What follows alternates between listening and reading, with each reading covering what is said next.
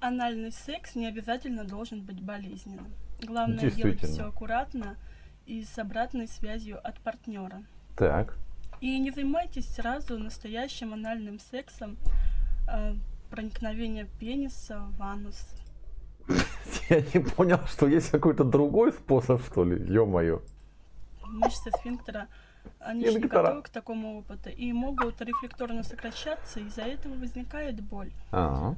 Можете подготовить анус, э, стимулируя его пальцами или девайсами в диаметре не более 3 сантиметров. Так. Также используйте смазку, достаточно смазки, потому что в отличие от вагинального отверстия, в анальном она отсутствует.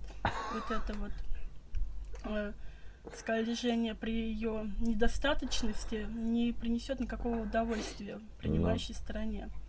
И Так. также разговаривайте с своим партнером, э, контролируйте процесс стимуляции, движения. Если вы используете секс-игрушки, да, Мне интересно, о чем разговаривать во время анального секса, о политике или о природе, или о завтрашней погоде. Ты, Чаечка, нас просвети, пожалуйста. то можете в первый раз при первом анальном сексе стимулировать самостоятельно себе Опа. там анус Себе там и вовремя остановиться, если это будет необходимо. И главный совет, да, секс, и в том числе анальный секс, он должен быть добровольным, непринужденным. Ну, понятно. То есть, идёт. если ваш партнер не готов к такому опыту, то не стоит настаивать, так как только можно этим испортить отношения. А так вот. Мужчины, если вы понимаете, что уже можно входить, да, то делать нужно это ну, аккуратно, потихоньку. А, так это все для мужчин? А, я думал наоборот. Ладно. Если ваша девушка испытывает боль, то невероятным усилием воли попытайтесь остановиться, э, подождать немного. Выходить, а, может, и не обязательно будет, потому что второй раз войти как-то, ну, навряд ли удастся. Не камильфо. Боль, которую девушка испытывает, скорее всего, Девочка. сигнализирует о том, что э, у нее сжат внутренний сфинктер. Да, их два.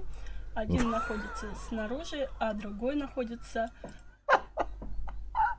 Ребята, вы просто представьте, да, вот во, во время этого всего солнышка разожми, пожалуйста, свой второй сфинктер, боже, меня просто порвало, я честно даже не знал, что есть два сфинктера, вот, вот честно не знал. э, 1-2 сантиметра от входа в анус. А, а отходов? Э, так как за него отвечает э, вегетативная нервная система, мы не можем контролировать его. Это, в принципе, минус.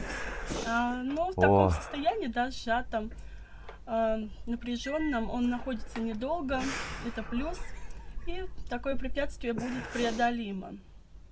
Ой, Первый раз нужно двигаться медленно, ходить аккуратно, потихоньку. И вообще, если вы используете смазку э, с лидокаином, да, то при грубом ходе движении девушке не будет больно, но зато болеть будет на утро и очень сильно. Вот, в принципе, и все.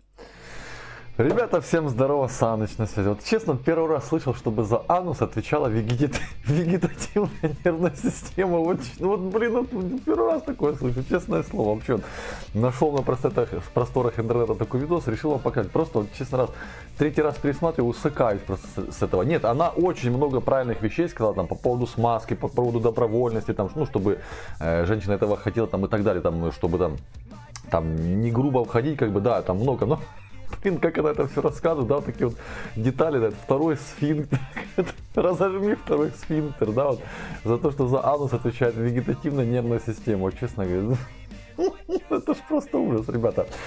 А, сразу видно, что чаечка бывалая, причем бывалая такая, что как бы, ой-ой-ой, да, может курсы, в принципе, открывать, ребята. Пишите, пожалуйста, комментарии, понравились, понравилась ли вам такая, ребята, опытная чаечка.